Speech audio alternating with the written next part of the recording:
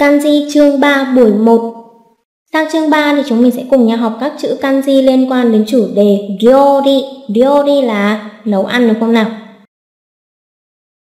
Buổi đầu tiên chúng mình sẽ cùng nhau đi tìm hiểu bốn chữ kanji đó là chữ nhiệt, lãnh, ôn và độ. Đầu tiên là chữ nhiệt. Chúng ta đã quá quen thuộc với từ nóng là gì? Atsui đúng không ạ? Thì chữ nhiệt này chính là chữ atsui đó, nóng nhưng không phải là nóng về mặt thời tiết là chữ thử đâu nha. Đây là nhiệt tức là nóng về mặt cảm giác cơ. Hình minh họa người ta vẽ cho các bạn. Khá là khó nhớ nếu mà nhớ theo hình này chúng ta chỉ tưởng tượng được trong đấy có chứa bộ gì nhỉ? Hình như là cái cây kiểu kia là giống bộ thổ này. Rồi thì ở dưới thấy ngọn lửa. Phân tích kỹ hơn được thành phần ý, thì chúng ta có bộ nhiệt này bao gồm hai bộ lớn là bộ nghệ cộng bộ hỏa. Thì cái bộ nghệ ấy, chúng ta phân tích kỹ ra thì nó sẽ bao gồm có nhìn này bộ đầu tiên bên trái là chữ tiên sau đó là ở dưới là chữ gì ạ? À? Thổ đúng không ạ? Còn bộ bên phải của bộ nghệ này chính là chữ hoàn nhá. Bộ nghệ bao gồm tiên này, cộng thổ này, cộng hoàn này. Còn ở dưới thì là bộ hỏa dạng 4 chấm. Thì có một câu mẹo để nhớ chữ nhiệt như sau. Trước khi chết, trở về với đất bị đốt hoàn toàn dưới nhiệt độ cao. Là sao? Đầu tiên trước khi chết thì chúng ta hiểu là tiên có nghĩa là trước đúng không ạ? Chúng ta sẽ nhớ là trước này, tức là phải có chữ tiên này Tiếp trở về với đất là phải có bộ thổ, rồi bị đốt hoàn toàn thì nhắc đến bộ hoàn. Sau đó là dưới nhiệt độ cao, tức phải có ngọn lửa để thiêu chứ. Đó, liên tưởng như vậy để viết được cái chữ nhiệt này nha. Đầu tiên là tiên, thổ, rồi đến hoàn, rồi đến chấm hỏa. Ok, sang cách đọc. Kunyomi chúng ta sẽ đọc là atsu xong atsui, nghĩa là nóng về mặt cảm giác còn âm ôn chúng ta sẽ đọc là netsu trong cô netsu, cô netsu, sốt cao. Biến âm thành dạng âm ngắt. Netto, netto, nước sôi. Netsin, netsin, nhiệt tình. Netchiu, netchiu, đam mê. Ok, cùng luyện viết lại chữ nhiệt, ôn nhanh các cái từ liên quan, sau đó làm nhanh bài test 5 giây nào. Trong vòng 5 giây, hãy đọc nhanh chữ kanji sau.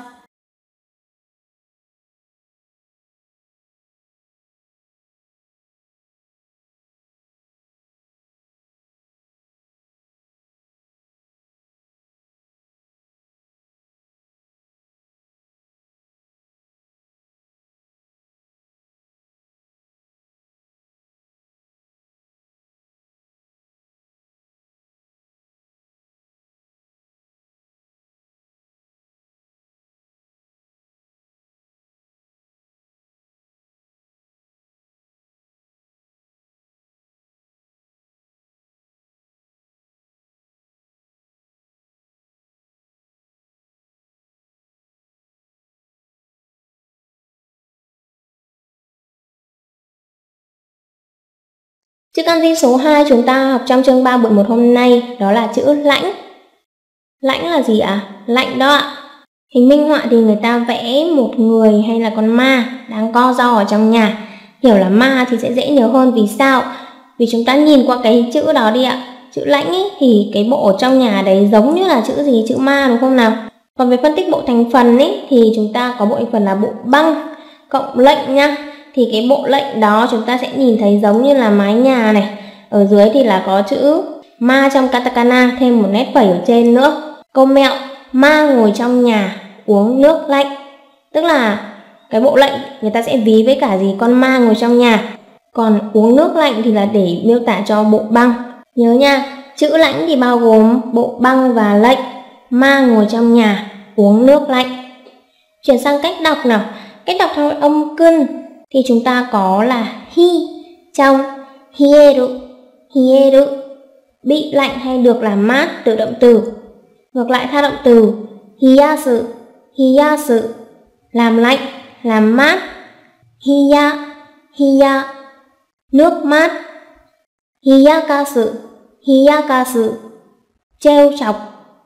Đó, những chữ như vậy thì chúng ta đọc là hi còn đâu là một từ rất quen thuộc của chúng ta khi diễn tả lạnh về cảm giác ấy. Trà lạnh, nước lạnh chẳng hạn thì chúng ta sẽ dùng từ gì? Zumetai đúng không nào? Khi đó chúng ta sẽ đọc là zume trong zumetai nhé. Ngoài ra thì cách đọc âm cơn của chữ lạnh này sẽ còn một cách nữa đó là sa trong samasu. Samasu thì để dịch nó khác với cả cái từ hiyasu đi ra dịch là làm nguội nha. Samasu làm nguội. Sameru thì là tự động từ nguội đi, lạnh đi. Sameru nguội đi, lạnh đi. Đó, âm cân có ba cách đọc hi, zume và sa. Âm ôn thì chúng ta sẽ đọc là d trong dezo cổ, dezo cổ, tủ lạnh. Deto suru, deto suru, làm đông lạnh. Hay debo, debo, điều hòa làm mát. Chữ lãnh này có khá là nhiều từ liên quan nên các bạn dừng lại tập viết này, tập đọc nhớ nghĩa các cái từ liên quan rồi lại làm nhanh bài test 5 giây nha. Trong vòng 5 giây, hãy đọc nhanh chữ kanji sau.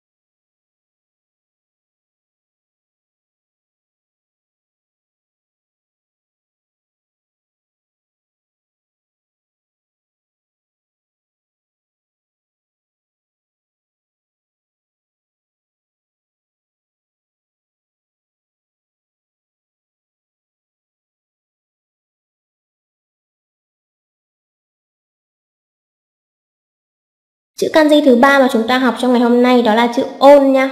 Ôn đây chúng ta gặp trong từ gì? À, Atatakai ấm áp đó ạ. Chữ này thì không tìm được hình minh họa theo lúc learn. Các bạn nhớ theo bộ thành phần đi nha Bộ thành phần thì gồm có bộ chấm thủy này, rồi đến gì kia bộ nhật và ở dưới là gì? mảnh tức là cái đĩa đó. Bây giờ có một câu mẹo dễ nhớ chữ này như sau. Nước đổ vào đĩa để dưới ánh mặt trời không ấm mới lạ là sao nhỉ? Tức chữ ôn này có nghĩa là gì? Ấm này, atatakai này và gồm những cái gì? Đầu tiên nước là bộ chấm thủy, rồi đến gì? À, ánh mặt trời, tức là chữ nhật, rồi đến gì? Bộ mãnh là cái đĩa ở dưới nha, rất là dễ nhớ thôi.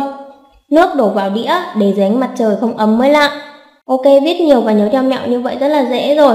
Chúng ta đi sang cách đọc.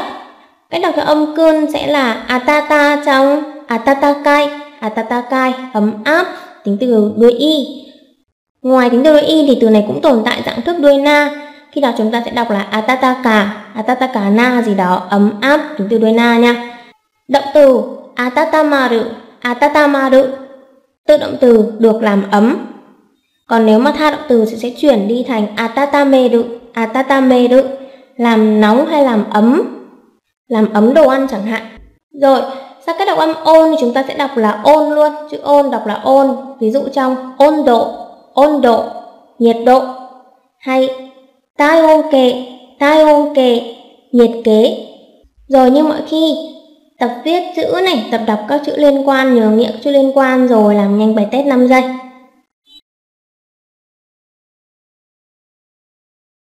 Trong vòng 5 giây, hãy đọc nhanh chữ kanji sau.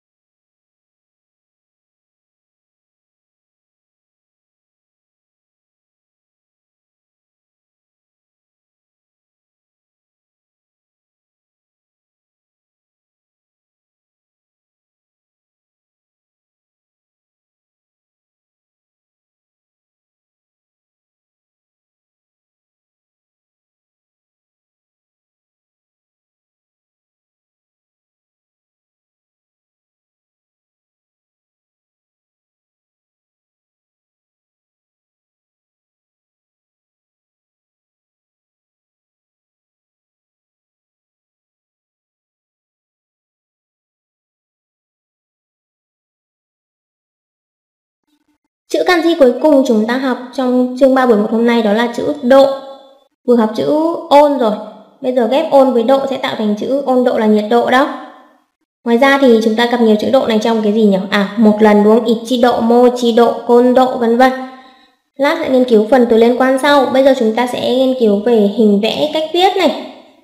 Hình vẽ thì người ta vẽ cho bạn thấy có cái mái nhà này, rồi số 21 và cái tay kia là tượng trưng cho bộ hiệu. Mái nhà ở đây thì đúng ra của nó là bộ nghiễm nhá. Bộ thành phần sẽ gồm có bộ nghiễm này, cộng với cả bộ nhập. Nhập này thì người ta hay lên tưởng đến số 21 tại vì sao? Giống như hai chữ thập cộng với một nét nhất ở dưới đấy, 21 và bộ hiệu. Nhắc lại, bộ thành phần của chữ độ bao gồm bộ nghiễm, bộ nhập và bộ hiệu. Nên có một câu mẹo để nhớ chữ độ là thằng nhập và thằng hiệu ngồi trong nhà chơi cá độ. Thằng nhập và thằng hiệu ngồi trong nhà chơi cá độ tức chúng ta sẽ có gì ạ? Đầu tiên là bộ nghiễm tượng trưng cho ngôi nhà của mái che này. Rồi đến gì? Thằng nhập cũng thằng hiệu, tức là bộ nhập và bộ hiệu đó. Chơi cá độ thì là ra chữ độ rồi. Thứ này cũng khá là quen mắt nên các bạn chắc là sẽ dễ nhớ thôi. Sang cách đọc. Đầu tiên là cách đọc theo âm cơn chúng ta sẽ đọc là tabi. Đứng một mình đọc là tabi nghĩa là lần. Hay cũng đọc là tabi trong tabi tabi. Tabi tabi là thường xuyên hay nhiều lần. Kono tabi Konotabi dịch là dịp này hoặc lần này. Konotabi chính là cách nói trang trọng của côn độ hay côn cai. Côn độ hay côn cai các bạn gặp nhiều đúng không ạ? Konotabi thì là cách nói trang trọng. Ví dụ trong một câu kính ngữ chúng ta phải nói chuyển đổi các đuôi động từ tính từ rồi thì cái trạng từ này cũng phải chuyển thành konotabi cho nó đồng nhất cái độ trang trọng của câu nha. Sang cách đọc âm ôn thì sẽ đọc là độ trong ôn độ, ôn độ nhiệt độ. Ichido, ichido, một lần. Côn độ, côn độ thì có hai nghĩa là lần này hoặc lần tới tùy ngữ cảnh chúng ta dịch. Ngoài ra còn một cách đọc âm ôn khác, đó là tác cự. Khi mà chúng ta ghép chữ chi với chữ độ, si tác cự nha. Si tác cự nghĩa là chuẩn bị hay sửa soạn. Còn một từ nữa mặc dù ít gặp thôi nhưng sách đưa nên mình sẽ vẫn giới thiệu đó là trường hợp đặc biệt không đọc theo âm cưng hay âm ôn đó là đọc là tô trong hạt tô, hạt tô, chữ pháp và chữ độ, lệnh cấm. Từ đó thì ít gặp nên chúng ta chỉ cần xem qua để nhớ là được. Ok, dừng lại, học thuộc các dữ kiện liên quan, lại làm nhanh bài test 5 giây nào. Trong vòng 5 giây, hãy đọc nhanh chữ kanji sau.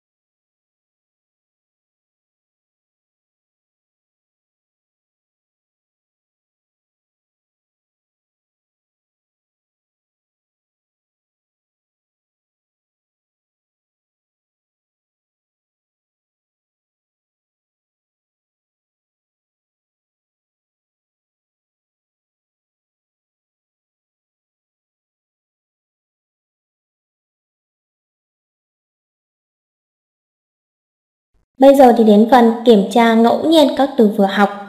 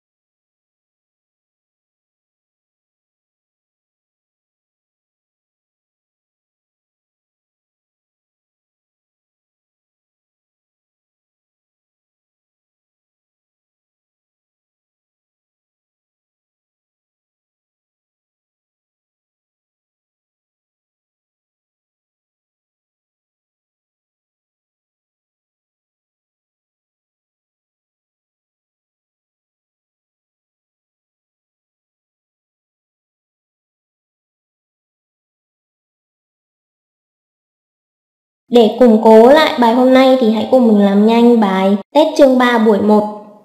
Cùng đọc nhanh các câu có chứa chữ kanji sau đây và dịch nghĩa của các câu đó. Câu đầu tiên, Nani ni juice o ikki ni nonda. Trước tiên thì chữ này nhìn quá quen thuộc từ tận sơ cấp rồi. Là gì nhỉ? Đọc là à, Atsumetai desu ne. Tsumetai. Tsumetai juice o ikki ni nonda. Tsumetai juice à, cốc nước hoa quả lạnh. Ikini nonda nonda là uống còn iki ở đây hiểu là ikini ở đây hiểu là uống hết một hơi luôn ấy. Tôi uống một hơi hết luôn cốc nước hoa quả lạnh. Nhì băng câu số 2 Sư của nondara karada ga Gì đây ạ?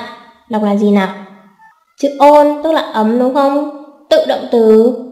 Atata matta Sư của nondara karada ga atata matta À, Atata ở đây hiểu là gì? Trở nên ấm đúng không ạ? Tự động từ. Sau khi uống súp thì cơ thể đã ấm lên. Tsugi. Nihon de wa nani o seishi de arawasu. Có đọc được không ạ? Ôn độ desu ne. Ôn độ nghĩa là nhiệt độ. Nihon de wa độ seishi de arawasu. Arawasu là biểu hiện Cc ở đây là độ C nha, Cc, độ C. Ở Nhật thì người ta biểu hiện nhiệt độ bằng Cc, tức hiểu Cc là độ C nhé. Tiếp tục nào. thứ này cũng rất là quen rồi. Nani ni kohi de shita o yakedo suru. Gì đây nào? Đọc là Atsui đúng không ạ? Atsui nghĩa là gì? Nóng. Atsui kohi de shita thì có nghĩa là lưỡi, còn yakedo suru là bị bỏng bị bỏng lưỡi vì atsui kohi, cà phê nóng. Tsugi, samusa de karada ga sukkari nani te shimatta. Chữ lãnh đúng không ạ? Chữ lãnh này thì có tận ba cái đọc âm cơm trường này đọc là gì? Hiete đúng không ạ? Hiete shimatta. Karara ga sukkari hiete shimatta. Sukkari thì hiểu là toàn bộ hết cả. Trường này chúng ta sẽ dịch là gì? Cơ thể lạnh hết cả đi vì rét. Câu tiếp theo, influenza ni kakari nanyani ga data. Chữ cao và chữ nhiệt đọc là gì đây? konetsu desu ne. konetsu nghĩa là sốt cao đúng không nào? Influenza ni kakari thì hiểu là bị mắc cúm, bị cảm cúm. Konetsu ga data nên bị sốt cao. Tsugi, biru o nanyani shite oku. Gì đây ạ? Cũng là chữ lãnh, đọc là hiyashite đúng không nào? Hiyashite oku. Hiyashite, hiyashimasu có nghĩa là làm mát, làm lạnh. Biru làm lạnh bia. Teoku thì chỉ là làm sẵn thôi, ví dụ làm lạnh sẵn bia đi để lát uống. Tiếp tục, kimochi ga nani koibito to wakareta. Đọc là gì đây? Ghép với chữ mê ở đây thì hiểu là gì? Samete đúng không nào? Kimochi là chia tay với người yêu. Samete thì là gì? Bị nguội đi. Vậy hiểu là gì ạ? Kimochi thì dịch là gì? Cảm giác, cảm xúc. Hiểu là gì? Cảm xúc, cảm xúc tình yêu ấy đã nguội lạnh cho nên tôi chia tay với người yêu.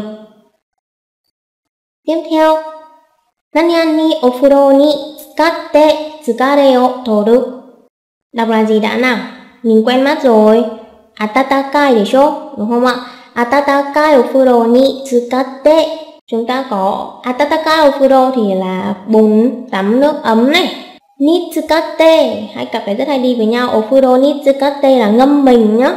Còn tsukare otoru là gì? Lấy đi những cái mệt mỏi. Hiểu câu này là tôi ngâm mình trong bồn tắm nước ấm để mà xua tan đi những cái mệt mỏi. Tsugi, この何々にはお世話になりました. Đọc là gì? Chữ độ nhưng có phải đọc là kono độ không? À không. Đọc là kono tabi đúng không ạ? Kono tabi wa o sewa ni narimashita. Kono tabi dịp này, lần này. O sewa ni narimashita. À tôi đã nhận được nhiều sự giúp đỡ của bạn, của ngài rồi ạ. Tsugi. Nani ni benkyou suru. Chữ nhiệt và chữ tâm đọc là Nessin desu ne. Học tập một cách nhiệt tình ở đây hiểu là miệt mài học tập cũng được. Câu tiếp theo, Shinkon no futari o minna de nani Đọc là gì đây? Hiyakasu đúng không ạ? Hiyakasu nghĩa là gì nhỉ? Có phải làm lạnh hay gì không? À không, trường hợp này hiểu là trêu chọc nha. Mọi người cùng trêu chọc cái cặp Shinkon no futari, à cặp vợ chồng mới cưới. Shinkon tân hôn á. Tiếp nào. Nanyani de netsu o hakaru. Gì đây ạ? Đọc được chưa? Tai ôn kê desu ne. Tai ôn là nhiệt kế. Hakaru đo, đo nhiệt độ, đo độ sốt ý, bằng nhiệt kế. Sugi, osake o nanyani de nomu. Đọc là gì đã nào? Hiya desu hiya de. Hiya ở đây là nước dạng trạng thái lạnh. Hiểu câu này là gì? À, uống rượu trong cái dạng trạng thái là nước lạnh ấy. Có thể dịch ngắn là uống rượu lạnh cũng được. Câu tiếp ạ. Kusuri o nonde netsu o gì đây nhỉ? Đọc là samasu desu ne, samasu. Samasu hiểu là làm nguội nhưng mà trường hợp này chúng ta hiểu là gì? Hạ sốt đúng không? Làm giảm sốt đi, uống thuốc rồi giảm sốt đi. Sui, densirenchi de onigiri o Đọc là gì đây? Atatameru desu ne. Atatameru nghĩa là gì? Làm ấm, làm nóng. Onigiri cơm nắm bằng densirenchi, lò vi sóng. Tsugi. Hayaoki shite choshoku no. No gì đấy ạ? À? Chữ chi với chữ độ thì đọc là gì? Không đọc là độ nữa mà đọc là gì nhỉ? Ta cự trong si ta cự đúng không nào? Si ta cự sư suru. Si ta cự nghĩa là gì? Chuẩn bị. Tôi dậy sớm và chuẩn bị cho cho cứ bữa sáng. Câu tiếp. Shigoto ni nanya ni suru. Nhiệt và chữ chung đọc là gì đây? Chung thì được đọc là gì? Chiêu đúng không ạ? Nhiệt cách đọc âm ôn, nét dự hoặc biến âm thành nệt chiêu. Nệt chiêu suru. Shigoto ni nệt chiêu suru. Nệt chiêu suru nghĩa là gì? Đam mê. Shigoto ni đam mê với công việc. Rồi câu tiếp theo, Nanyan ni de yakedo shimashita. Thì đây nào, chữ nhiệt và chữ thang học bài trước rồi. Netto desu ne. Netto de yakedo shimashita bị bỏng do nước sôi. Tsugi, mizu o nanyan ni de hiyasu. Đọc là Dezoko desu ne, quá quen rồi. Mizu o dezoko de hiyasu, làm lạnh nước bằng tủ lạnh. Tiếp ạ, nokorimono o nani ni suru. Reto desu ne. Reto suru nghĩa là làm đông lạnh. Nokorimono reto suru làm đông lạnh. Nokorimono ở đây hiểu là đồ thừa, làm đông lạnh đồ thừa. Tiếp ạ, sono heya wa nani ga tsuite imasu ka? Đọc là gì? Debo desu ne. Debo nghĩa là Điều hòa làm mát, sono heya wa debo ga tsuite imasu ka? Cái phòng đó thì có bật điều hòa làm mát không? Điều hòa làm mát có đang bật không? Một câu không thể quen thuộc hơn nữa, mo gì onegai shimasu. Đọc được luôn ạ. Mo ichido onegai shimasu. Xin vui lòng lặp lại một lần nữa ạ. Thế còn trường hợp này đọc là gì? Nanyani wa shippai shimasen. Chữ kim và chữ độ dễ rồi. Kondo desu ne. Kondo wa shippai shimasen.